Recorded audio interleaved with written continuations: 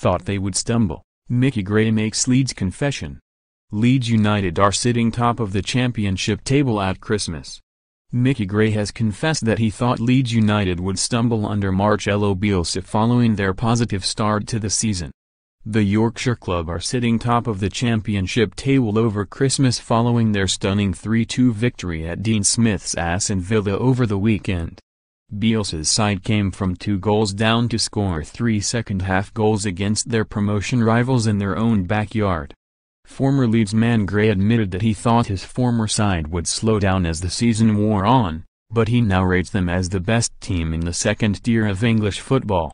If we are talking about the best team that I have seen on a consistent basis throughout the championship this season, it's Bielsa and Leeds United. Gray told Drive Time on TalkSport on December 24, 2018 at 5.30 p.m. They've been excellent. I thought they'd stumble and slow down. Kemar Roofe was missing for a little bit and they didn't win too many games. I think he's so key for them.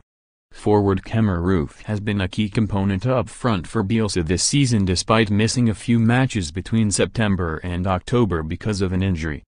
Over the course of the campaign, the 25-year-old has scored 11 goals from his 17 league matches, including a stunning stoppage time winner at Villa last time out.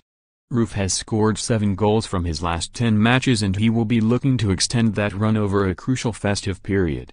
Leeds, who hold a six-point lead over third-placed West Brom in the championship table, host Blackburn Rovers on Boxing Day before rounding off the year with another home clash against Hull City.